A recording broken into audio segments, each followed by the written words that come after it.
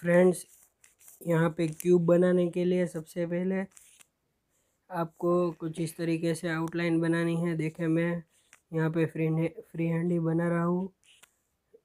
Cube की outline अगर आपको ऐसे नहीं आता है तो आप स्केल का यूज़ करके भी बना सकते हैं।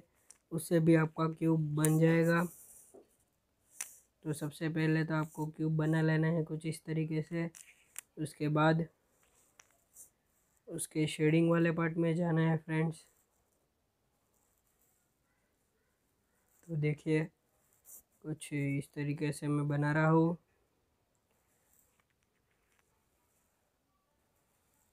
और देखिए, ये वाले सिरे से लेकर आपको इसका शेडो बनाना है।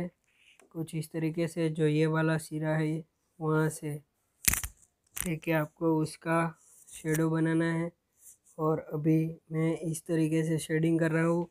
क्यूब में तीन पार्ट हमें आगे दिखते हैं, जो कि हमें शेड करने होते हैं। तो यह फ़र्स्ट वाला पार्ट आप बिल्कुल डार्क कर दिए, कर दीजिए टेन बी पेंसिल की मदद से, जो कि अंधेरे में होगा। और एक पार्ट जहाँ पे बहुत कम रोशनी आ रही होगी, वहाँ पे हमें मिडल टोन देना है, यानी कि सिक्स बी पेंसिल की या फोर बी पेंसिल की मदद से हमें शेडिंग करनी है। देखिए फ्रेंड्स कुछ इस तरीके से।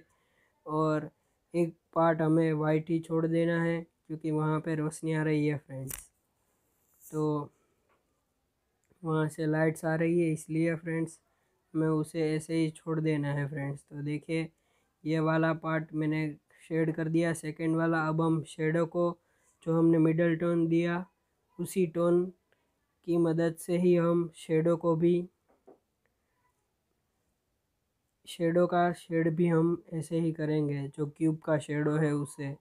देखिए कुछ इस तरीके से, लेकिन शेडो में थोड़ा सा ग्रेड आएगा जो कि डार्क टू लाइट होगा। क्यूब के पास वाला हिस्सा थोड़ा सा ज़्यादा डार्क होगा और क्यूब के दूर जाते जाते उसका शेडो थोड़ा लाइट होता जाएगा। तो ये ध्यान रखेगा फ्रेंड्स, उसमें हमें ग्रेडेशन दिखाना होगा। तभी हमारी ड्राइंग बिल्कुल रियलिस्टिक लगेगी और हमें लगेगा कि वहाँ पर क्यूब रखा हुआ है। तो देखिए,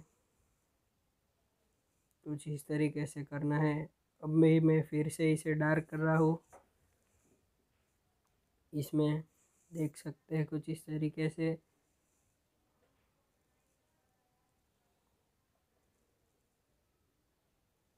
तो देखिए, अभी मैं ब्लेंडिंग कर रहा हूँ। ब्रश की मदद से ही कर रहा हूँ फ्रेंड्स आप देख सकते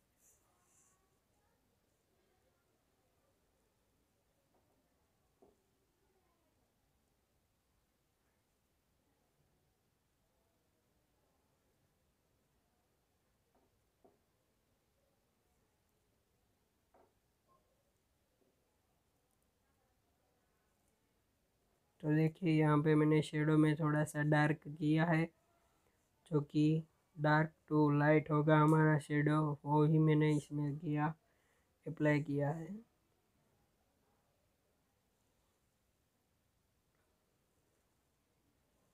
अभी इसके अंदर जो लाइंस बची हुई है, उसे और जो हमारा हम ब्लेंडिंग करते समय जो भी ग्रेफाइट बार गया हुआ है, उसे हम इरेज कर देंगे। कुछ इस तरीके से फ्रेंड देखिए। मैं इसे इरेज कर दे रहा हूँ, ताकि पेपर पूरा क्लीन हो जाए। तो देखिए, अभी उसके आगे वाले हिस्से की जो आउटलाइन है, वो मैं फिर से बना दूँगा।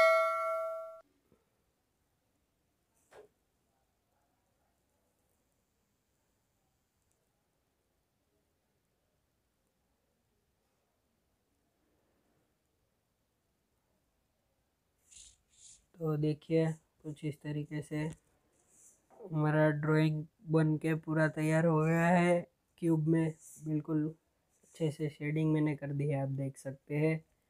आप भी इसी तरीके से शेडिंग कर सकते हैं, फ्रेंड्स।